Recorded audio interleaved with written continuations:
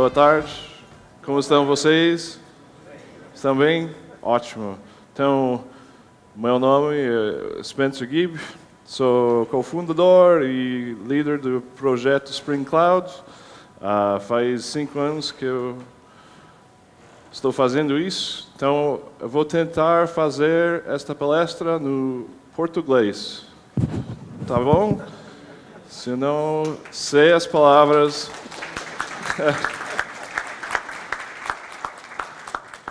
no português, vou falar no inglês. Olha, que eu trouxe também. Olha.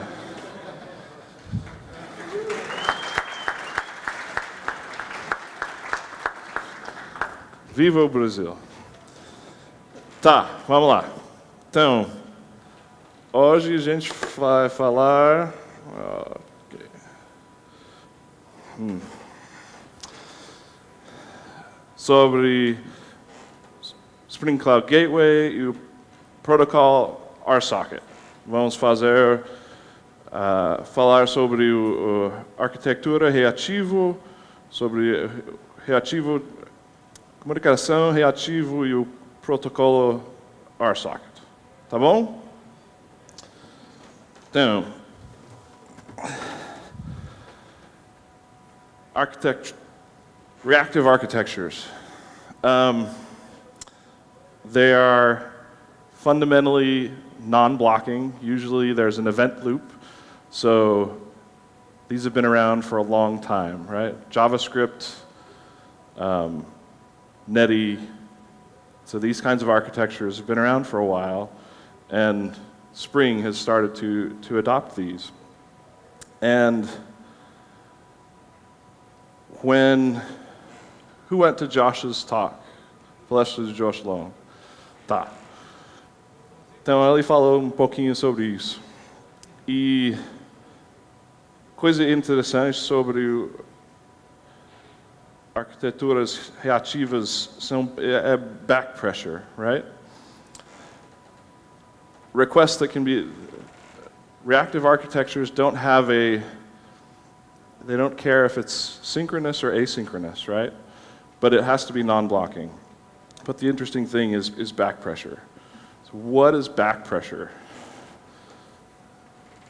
A colega minha, ela fez isso e eu estou usando isso. O requester fala, quero. E responder, aqui. Ah, demais, ah, preciso ajuda. Então isso é back pressure, porque o requester pode dizer, para. Bem, ele não fala para, ele fala, quero 5, ou quero 10, ou quero 20. E o responder vai dar. Então, ficou melhor, né? So, Quem já, já ouviu falar de Reactive Streams? É um projeto de many companies have, have contributed to. There are four interfaces, these four here, publisher, subscriber, subscription, and processor. Um, and in Spring, we use Project Reactor um, is our implementation of, of reactive streams. And so, Josh, if you saw Josh's talk, you saw fluxes and monos and things like that. Now, you won't see much of that here, but it's all built on top of, of that. So, there are roadblocks in using reactive architectures everywhere, right? Data access. Not everyone can use Mongo or Apache or Cassandra, right? Um, so Pivotal has taken on project uh, R2DBC. Josh showed you a little bit about that. So things are starting to progress with data access. But there's still this problem across processes. And so across the network, you know, how do you translate these concepts across the network? So that's where RSocket comes in. Turns out I'm, I'm forgetting lots of the Portuguese words right now. so it's more English than Portuguese. Disculpe. Um, because here, I would, yeah, there was no chance here. So RSocket is bidirectional, it's multiplex. We'll talk about each one of these keywords that make RSocket interesting. Um, as a protocol, it supports four, four different communication models. Um, fire and forget, request response, uh, request stream, request channel. So you can do all sorts of things, right? Uh, that you would normally do with, say, HTTP. Um, another interesting thing about RSocket, as we talk about, is that it's transport agnostic. So there are implementations that run over TCP, WebSockets. So whatever your network can support, you can usually run RSocket over it. Um, oh, that's not what I wanted. Sorry. So let's talk a little bit. It may help to understand RSocket by comparing it with, with uh, HTTP. So the first thing, generally with HTTP, your clients are making a connection to the server every time, right? With RSocket, you make a single connection to the server, and then all your requests go over the same connection. So the cost, preço, sabe? the cost of making a connection, fazendo conexão, uh, doesn't matter much because you only do it once.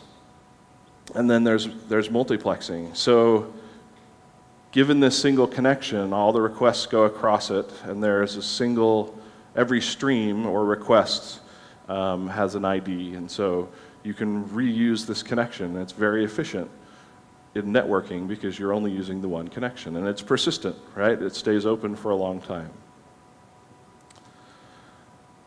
The other thing we, we chatted a little bit about is, is communicating back pressure, right? There's really only HTTP error codes, right, to deal with. And they're not always very helpful, right? If you get a 503 from the server, que? Oh, I'll say, but with RSocket, the,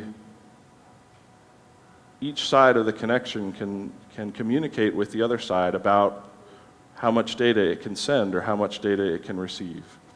And so that back pressure can go across the network. And I'll show you, that's really my demo when I show it to you a little later. So, I mean, some network protocols have pieces of back pressure, like TCP, but there are still places where buffers can overrun, right? Um, and so, I, like, I really like this last statement here that, that one of my colleagues wrote. Reactive streams pull, pull push back pressure ensures that data is only materialized and transferred when the receiver is ready to process it. Right? That just doesn't happen in in HTTP, right? Like it's going to get sent no matter what if you requested it. So another interesting thing is that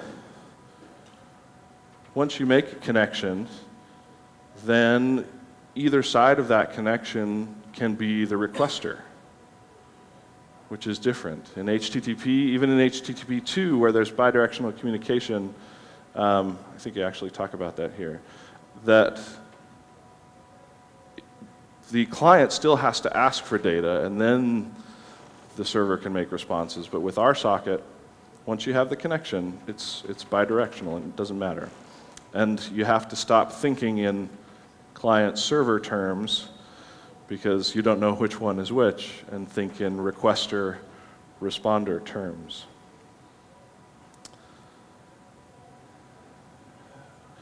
Another interesting uh, thing about RSocket is being able to, to cancel requests. So say the requester, it makes a request, and then it determines, you know what, I already have the information I need, I can go cancel that request.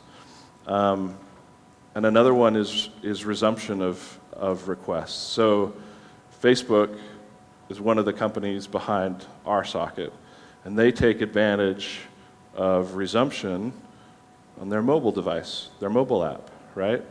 So when you you leave home and the Wi-Fi drops. There's that little time when you don't have a network connection, right? And so Facebook used to go grab your whole stream again. It was very expensive. But now they use RSocket and its resumption support, and they just, the client says, oh, I was here. And so then it only returns the difference um, in what was requested rather than the whole thing again. So saving real dollars in bandwidth for, for, for companies.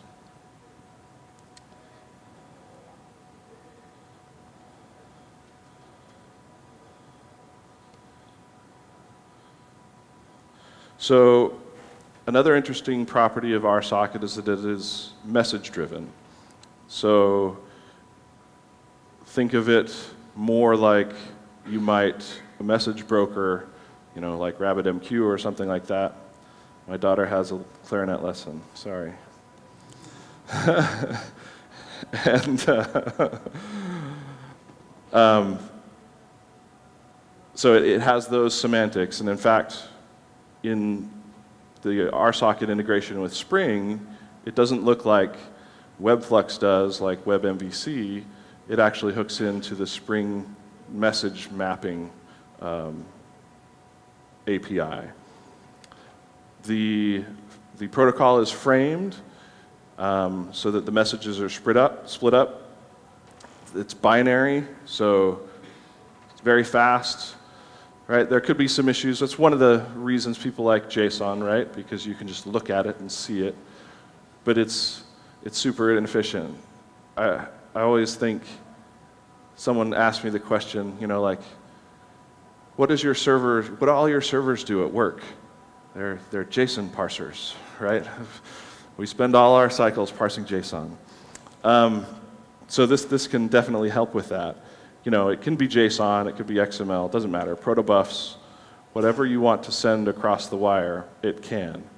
And another interesting thing is that the payload could be encrypted even if the transport that you're using is not encrypted. Um,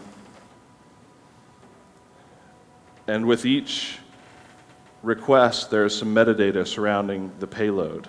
Um, there's MIME type, and then kind of this bag of, of bits that can be used to carry information about payload. Pivotal has been working with Netifi and other companies to define some metadata for announcement and routing that I'll, I'll kind of show you here in a little bit. Um, but that means that you can use that bit of metadata to determine you know, what piece of, of your application handles that message, right? And so you can send messages across the same connection, you know, the, whatever the message may be, right?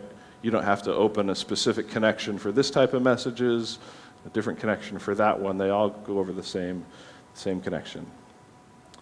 So Spring is adding support for RSocket.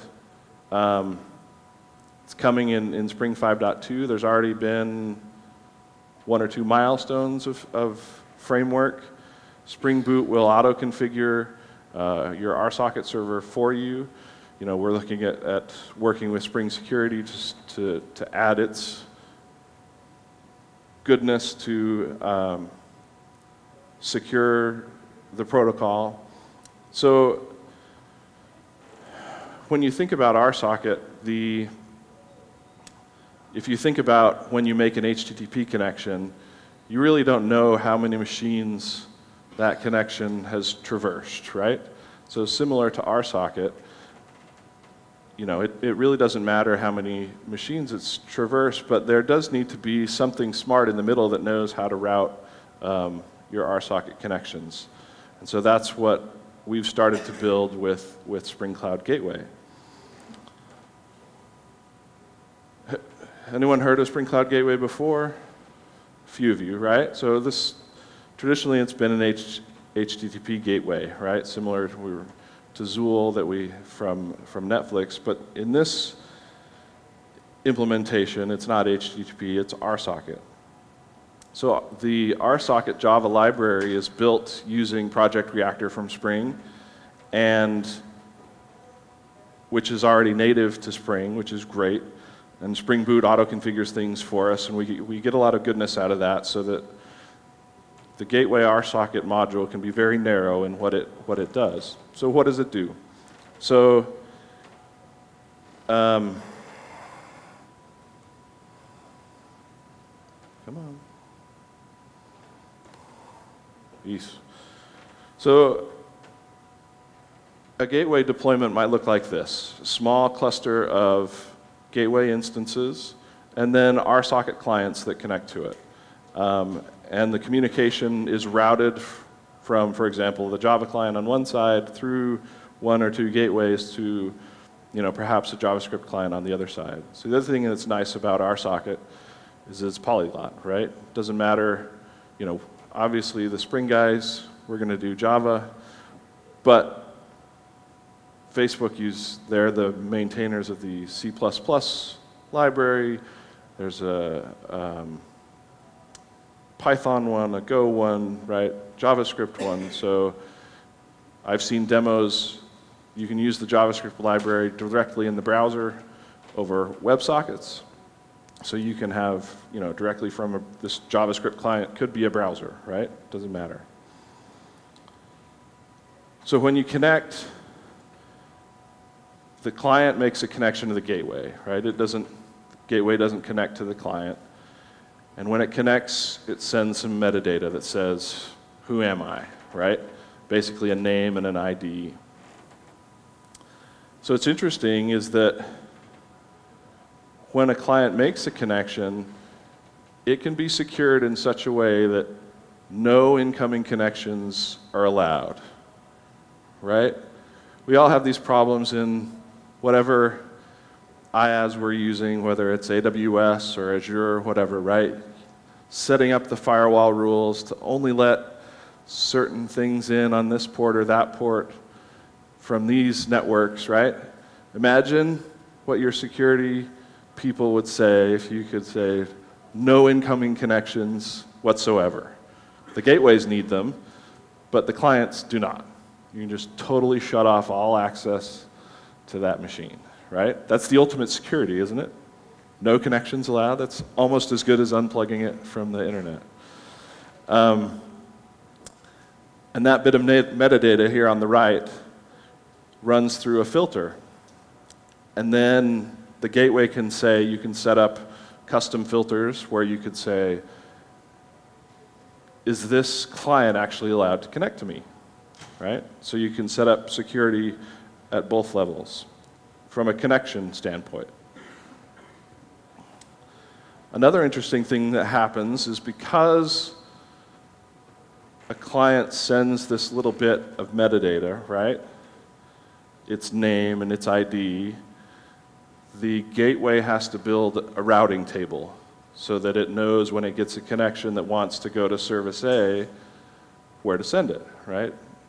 In essence, it's building this routing table and it becomes a service registry system and a discovery system.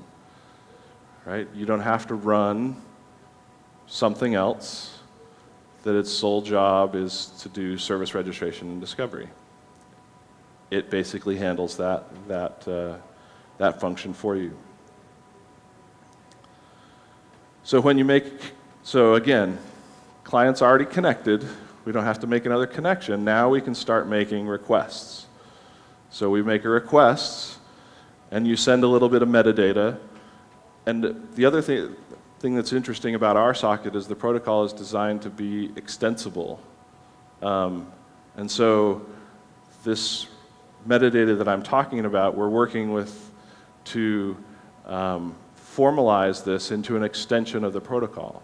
So it's not just you know some random thing we're coming up with, but it will be formalized as part of a, as an extension to the protocol. So when you make a request, you send this little bit of metadata. I want to talk to, you know, service A, and I want to call for what, you know, for better lack, the echo method on service A, right? So what does that look like? So here, just as an example, the Java client's trying to call the JavaScript client, and we, we want the destination echo. And this request will get routed through, you know, how many, one or two gateways to get there. But you'll notice the client it doesn't need client-side load balancer, right? The load balancing is built into the gateway, right? If there's more than one service A, the gateway will be smart enough to pick one. Um, there's no there's no service mesh. There's no sidecar running, right? There's no duplication of processes that, that come with something like a sidecar. And another interesting thing, there doesn't need to be a circuit breaker in the client as well. And that goes back to, to the back pressure that can be communicated across, across the network. So, but what happens? So, there's an interesting situation that you can, you can get yourself into here. You can connect to a gateway and make a request to a service that isn't connected to the gateway yet, right? So what happens? So what we've done is we've built into to the gateway a system such that when a request comes for a service that doesn't exist, we create this placeholder. And basically what happens is we use reactor and apply back pressure across the network. And one of the things this does is, you know, how many of you have come to the situation where I'm spinning up a new environment, right? But I need to start this service first, and then that one, and then that one, and then I can start the last, right? I see you laughing, but it's, it happens, you know, when you spin up test environments or whatever for the first time. And it's very difficult. You, what do you end up doing? You, you have, you set up retry with exponential backoff, right? So that you can hopefully, in the window of your retry before it dies, the new thing, the other thing comes up and it will work. So in this case, you don't have to deal with any of that because the gateway will handle it for you. And another thing that happens, just like at the connection level, at the requester level, each request runs through a series of filters that can be customizable. And again, you can apply security here such that, hey, can this service actually talk to that other service, right? There are lots of highly regulated environments where, you know, you don't want all your services, you know, there's some segregation that needs to happen.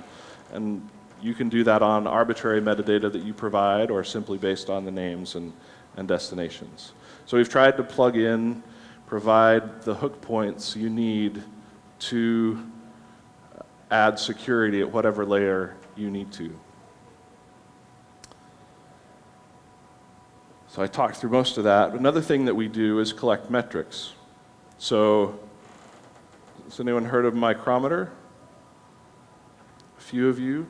Spring Boot? Okay, so we built Micrometer at, Pivotal to be the new metrics implementation in Spring Boot 2. So if you've used Spring Boot 2, you've used Micrometer. Um, and what we've done in RSocket and in the gateway is set up Micrometer such that it collects metrics at various different levels in the gateway, right? As a, at a general level, at a connection level, and also we take care of requests, um, metrics at the request level. So you can see rates of messages flowing from service A to service B, for example. Something that could be very, very useful that often is very, very hard to get. Um, and we do it all in one central place.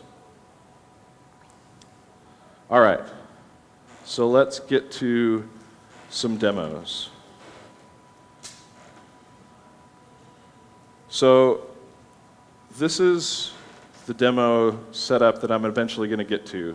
Um, and I'm going to show some simpler versions of this, specifically first without a gateway, right? To show that these applications, relatively unchanged, work, right? They can communicate directly with each other. One actually is a server, it has to listen to a connection. That's the small change.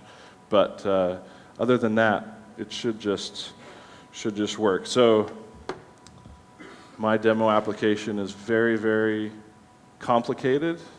Who here has played ping pong? How do you say ping pong in Portuguese? Ping pong. Yeah, okay. yeah, it's like I went to McDonald's once and asked for a milkshake, and, and the, the girl just looked at me. I want a milkshake. She's, I don't understand.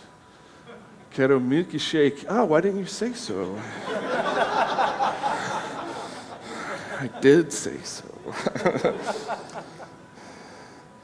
All right. So let me show you the ping application here. You see that all right? Podem ver? Ótimo. Basically, what this does is that most of it is not super interesting. One bit here is this is how I create metadata to say I'm a ping, right? So that gateway knows who I am. And we set that here. And then here is where we actually send a message, right? I have a method called send pings. And if you saw Josh's demo, a flux is a stream of things, in this case of payloads. And so every second I'm going to send a ping to the server. And almost an identical implementation on the Pong side. Right, like I said, the, the little bit is am I a server or not, basically because I have to listen if I'm actually going to do it. So here, if I say, if I run Pong,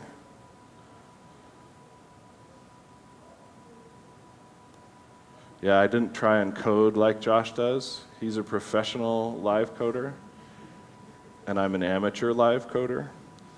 So my day job is actually building something. no. no disrespect to Josh. He builds things all the time, but his day job is, is to do presentations. anyway, sorry, Josh. Um, yeah, that didn't, that didn't come out right. All right, so here I connected. So this is ping and pong directly connected to each other, okay? You can see both sides sending and receiving.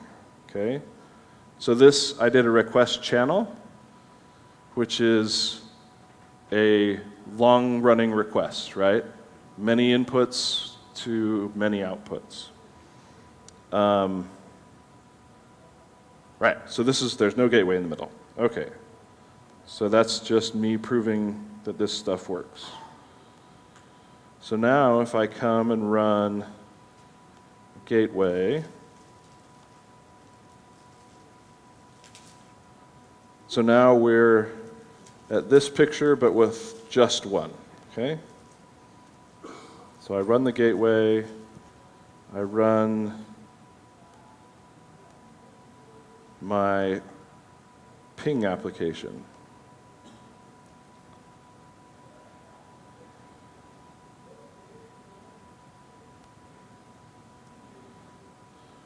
So there's no Pong server, right? I haven't run that yet. So you can see it's every second it's printing this, this statement here. So let me show you what is actually, so this is gateway applying back pressure across the network, right? It says, I don't have, I can't respond to that message right now. And what I had to do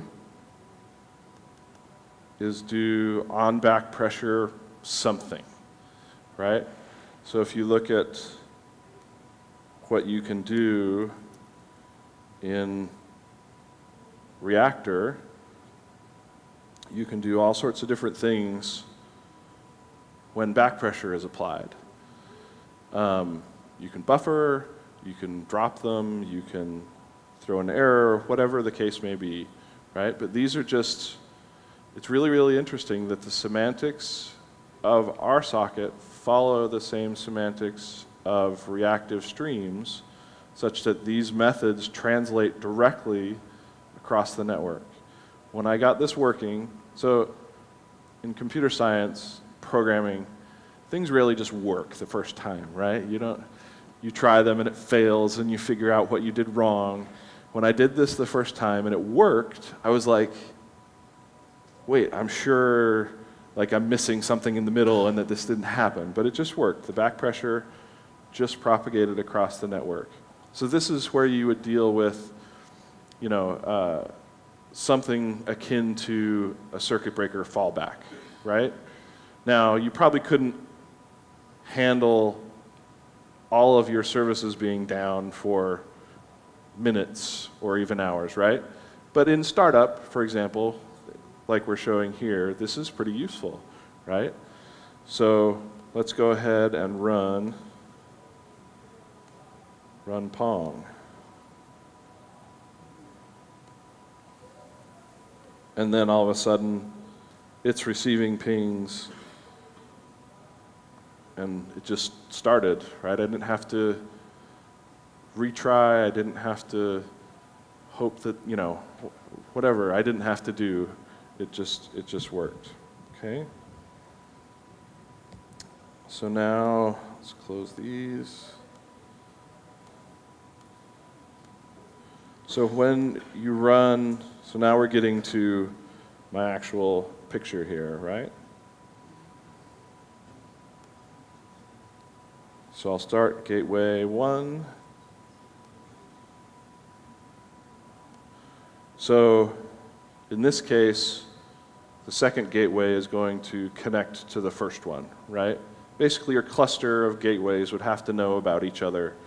Um, but that should be a fairly small number of them. So we've connected, and again, I'll do the same demo I did before. Oh, I guess I introduced a bug.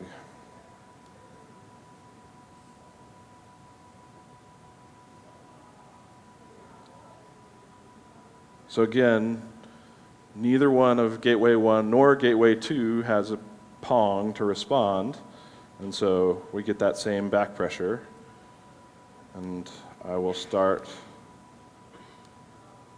Pong this time pointing to Gateway 2 instead of Gateway 1.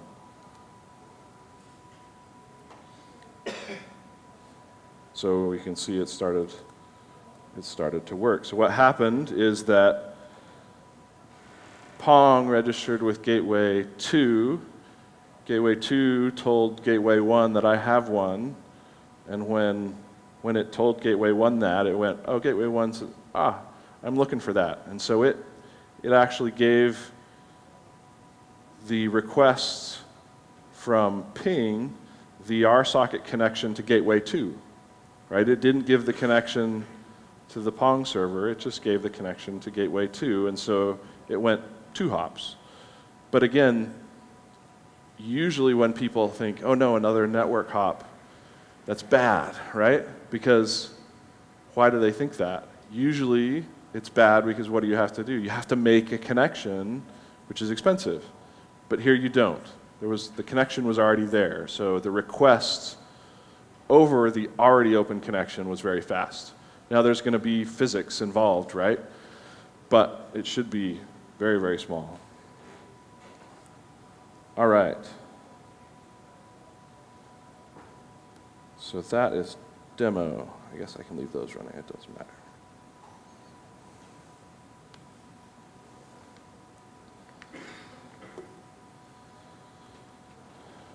So here's some of the things we talked about that you don't need in this kind of setup your services don't need incoming permissions, right? They can be totally blocked. They just make an outbound connection to the gateway. And then you just have to secure the gateway, right? Some small number of them. And we have ideas about you could run a gateway cluster, for example, in one region and another in another, and have them connected over a wide area network or VPN or something like that, and do some intelligent load balancing. For example, if generally the connections across, the requests across the, to the other region would be slower, right? Because they're going across the country or whatever, or across the ocean. But for example, if a service died in the local region, well, a slow service is better than, better than no service, right? Um, we talked about that there isn't a need for a separate service discovery system. Now, I've built Spring Cloud on integrating service discovery systems, right? You've heard of Eureka before, maybe? You? Yeah. Consul, anyone? Zookeeper? What other service discovery systems do you use? Anyone? A different one? Okay. So, so we don't need something separate for that. We don't necessarily need a service broker. If your messages don't need durability, for example, they're just kind of these ephemeral messages, you know, rather than REST calls, right? If, if we think about message-oriented systems instead of, you know, request-response-based systems, this kind of thing fits right in, and you don't need a separate message broker. We talked about the need for eliminating circuit breaker, right? We can use the built-in back pressure from, from Reactor and RSocket. We don't need a client-side load balancer like Ribbon, right? You don't need a library. This is super helpful when you're polyglot, right? Because with Eureka or Ribbon, it's like, ah, how do I, how do I integrate that? Because now I want to use, you know, our front end guys want to use Node, right? Whoever has that problem. Um, so you don't need that, right? A sidecar, a service mesh. Um, the CTO of Netifi said that they, they ran a demo. They took the canonical Istio application and put it on some hardware in a cloud, ran it, benchmarked it. They then replaced Istio with RSocket on the exact same hardware and immediately got lower latency and more requests per second. And then they scaled it and kept getting better and better um, uh, performance. And he said, we stopped because it would just get a little slower every time, right? Just because of the ability for the back pressure to propagate across the network, right? Think services would not go down, they would just get a little slower. We talked about um, startup ordering problems. You don't, you don't have to deal with that. Um, our friends at Netflix talk about uh, an application of theirs that takes, I don't know, say tens of minutes, maybe even an hour to warm up, right, before it can start taking requests, right? So they use um, Eureka and its ability to do some things to, to basically they bring it up, register it with Eureka with out of service. Then once it's warm, they send a message. But if we use something like RSocket, it could just be not available until it was ready. Um, and there are certain cases where with, with this kind of architecture, a thundering herd can be avoided. Uh, so we talked about some of these good things from RSocket persistent connections that are multiplexed, where you get multiple transports. So one of the things I envision is a, you know, a couple of RSocket servers that live on the edge, right, that then are connected to your um, private RSocket servers, right? So the ones on the edge may speak WebSockets, right, or they may speak TCP, depending, you know, so your, your mobile apps, your web apps could, could talk directly to those, and then they could talk directly to your interior um, cluster. Again, polyglot, this would all work, just, in fact, I, have I've meant to do it, write a little JavaScript ping client, right? And the only thing you need to send is that little bit of metadata with your, with your requests. And that we can, we get all this, this data that's um, incoming from Micrometer. So the roadmap that we are looking at, we, we have some clustering enhancements to do. Another interesting thing is that because the cluster knows about all of these services, there are times when it's interesting to say, I want to send a message to all instances of a service, right? Some kind of coordination message or some kind of administrative message, right? So we would like to be able to do that, right? And you could add a little piece of metadata to your fire and forget message that said, you know, send this message to everyone. Again, my daughter's clarinet lesson. Um, or it might be an interesting thing to do uh, send a message to multiple servers and get the first reply, right? The fastest one back. So you send it to two or three, and the fastest one wins, right? Called request hedging. Um, we want to, one of the extensions to the RSocket protocol is for tracing. Um, you've heard of Zipkin before? Open tracing? Okay. So the ability to figure out, pinpoint where in your system requests are slow, right? Um, there are other things that we can do for optimizing routing. You know, we, I talked a little bit about that intelligent load balancer that could say, hey, we're, it's faster over here. That, that is work that is to be done. Um, so this is, we're targeting this for uh, the third quarter of this year. Um, as part of Spring Cloud Hoxton, this will come with the, the work that is done in Spring Framework and Spring Boot, and we are targeting the third quarter.